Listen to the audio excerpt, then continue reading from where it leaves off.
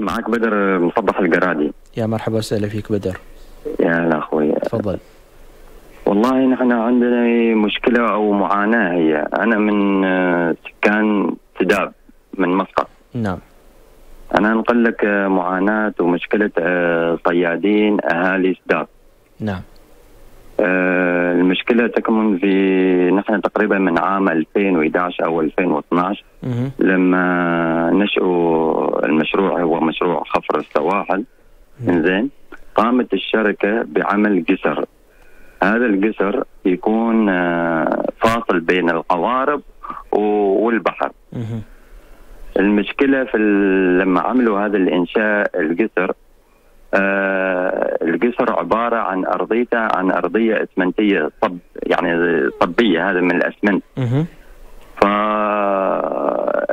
لما الصياد يبغى ينزل أو إنه يرفع قاربه ما يتمكن لأن هذه الصبيه صارت صبيه زلقة بمعنى الكلمة يعني من الطحالب ومن اللي نحن نسميها بالعامية الشبو. اللي هي تتجمع في الأرضية. إيه نعم. إنزين؟ إذا أنت تمشي واحد يمشي على الأرضية هذه ما يقدر إنه يتوازن. فكيف عاد بالك إن صياد يقرر القارب وهو ينزل قاربه من هذا الممر. ما ما ممكن يعني نعم. إنه يبي توازن. كم اللي انصابوا معنا وكم اللي انزلقوا وصارت صراحة هذه المشكلة ما وليدت اليوم يعني صارت في اجتماعات عند الشرطة وعند الزراعة والبلدية والمحافظة مسقط يعني استمر لعدة سنوات. بس للأسف يعني ما في تجاوب ولا في حلول يعني ما حد سوى لنا حلول. الحين نحن ما نقدر نطلع البحر الا ننتظر البحر لازم يطلع ويغطي هذه الصبية بالكامل يكون منسوب الماء مرتفع حتى نقدر نحن ننزل القوارب. وحتى لما نجي من البحر وشفنا البحر نازل عن هذه الأرضية اللي هي الأسمنت الصبية الممر ما نقدر نرفع قواربنا إلا لازم يكون آه، الماء أو البحر منسوبة مرتفع على هذه الصبية. وناهيك عن هذاك في ولد مثل نحن نسميه الصي. هذا يجي مثل آه، شيء يعني آه، كيف اشرح لك إياه؟ شيء مدبب يعني فيه شيء يعني ي- لما إذا دست عليه على طول يعني يجرح آه، يسبب لك جروح في في الرجل. نعم أخو- وفيها التف- نحن اقترحنا عليهم. يعني على جنب الشاطئ. الشاطئ هو شاطئ داب ينقسم إلى قسمين. وفي الوسط في حصى. هذا الحصى يعني الحين لما سويوا ال- المينا في كاس الأمواج منع الموج من دخول إلى الشاطئ. أو دخول إلى منطقة داب. هذا الحين ال- الحصى ما من ابدا أي يعني مثل ما تقول فائده وجوده فاقترحنا عليهم ازاله الحصى وإنشاء يعني شاطئ رملي مكان هذا الحصى. بس ما نعرف أمرات الشرطة يقولوا هذا الحصى تابع للبلدية والبلدية تقول لا تابع للشرطة. ونحن جالسين في حيرة ولا حد المعاناة قائمة لحد لحد يومك هذا يعني. نعم. الآن خلاصة هذه اللقاءات لأن الآن واضح من كلامك بدر أن مشكلتكم واصلة لجميع الجهات. أي نعم. آه، وين وصل الموضوع مع هذه الجهات؟ ومن هي أكثر الجهات تبنيا لهذا الموضوع ومتابعة فيه؟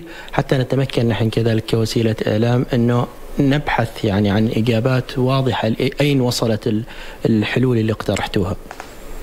والله هو الشرطة أكثر الجهة اللي هي معنية بس لأن كون المشروع يخص آه، شرطه عمان السلطانية. إيه نعم لكن المتضررين حاليا هم صيادين. إي نعم. طيب اذا المتضررين الصيادين صيادين. الآن الراعي الأول مال الصيادين المفروض إنها تكون وزارة الثروة الزراعية والسمكية وموارد المياه وهي المفروض يعني تعرف أحيانا بين المؤسسات نفسها المفروض تكون الأمور أكثر سهولة ما بين الأفراد والمؤسسات. يعني هي تقدر تصل إلى تفاهمات أحيانا معينة بحيث أن تحل بعض الإشكاليات.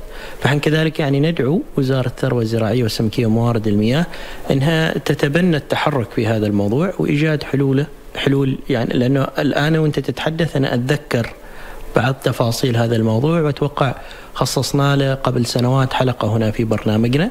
نعم نعم وزرناكم نحن هناك. من ضمن الحضور يعني. أيوه وزرناكم وجزاكم الله خير.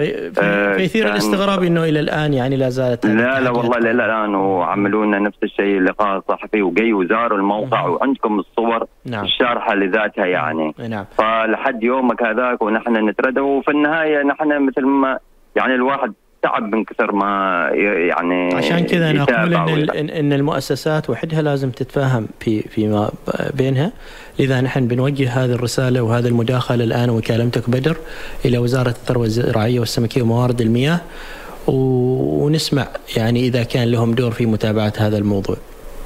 والله يا ريت. يعني حتى أبسط الحلول نحن قلنا لهم زين يعني نبقى نريد هذا اللي هو يسميه القصر العايم.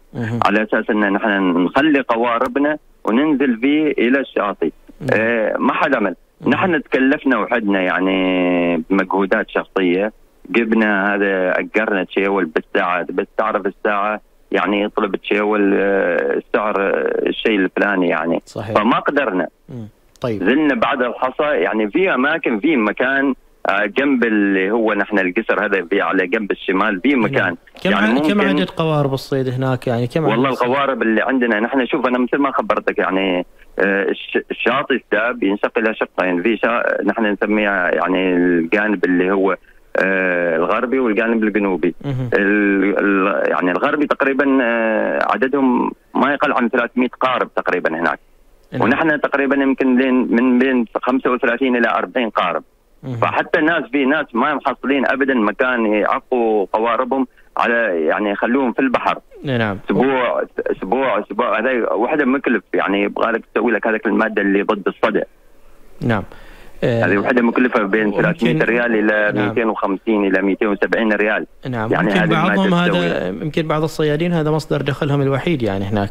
أكيد أكيد. مم. نحن الحين أنا أكلمك عن نفسي. في عندنا حد من الأهل يعني طاح انصاب جلس لك يمكن أسبوع ما قدر يروح البحر يعني. منصاب طايح منزلق على هذه الأرضية أرضية الاسمنت طيب. ولا حد سوى له شيء ولا حد من طيب يسوي له يعني. طيب بدر خلينا نتابع في هذا الموضوع. يعني موضوع له ابعاد كثيرة يعني يعني سلامة أول شيء الصيادين هذه فوق كل اعتبار. وبعدين الصعوبات اللي يواجهوها وما شيء مشكلة ما لها حل. وأنتم بروحكم جالسين تقدموا أصلا حلول ما إلا فقط تتكلموا عن المشكلة. لا لا في حلول وعندنا أقول لك الحين الحين هو الحل. يعني ما نعرف نحن نحن من من وجهة نظرنا يعني. نحن نشوف الحين الكاس الامواج اللي عملوا في في هذه في ميناء خفر السواحل. حتى الماء أصلا ما يتغير. كيف الموج؟ الموج حتى الموج ما يدخل الحين خلاص. صار كأنه بندر يعني. صار كأنه شاطئ الساب كأنه خور يعني. حتى ما في تغيير في الماء. فالحصى ما منه فائده أصلا. يعني لو ينشل الحصى بيتوسعوا هناك الأهالي اللي صوب الثاني ونحن نفس الشيء بنتوسع. يعني وبيكون في أريحية. أنت تروح وتجي البحر في أريحية يعني نحن صح.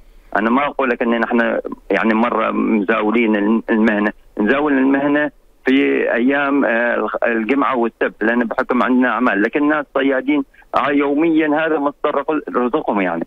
نعم. طيب. أيوه. طيب ما يعني زين زين نحن إن شاء الله ان شاء الله يكون يفكونا من هذه المعاناة والناس الله. ترتاح من من هذه المعاناة اللي صار لها سنين ودهور يعني. بإذن الله تعالى. شكرا لك يا بدر.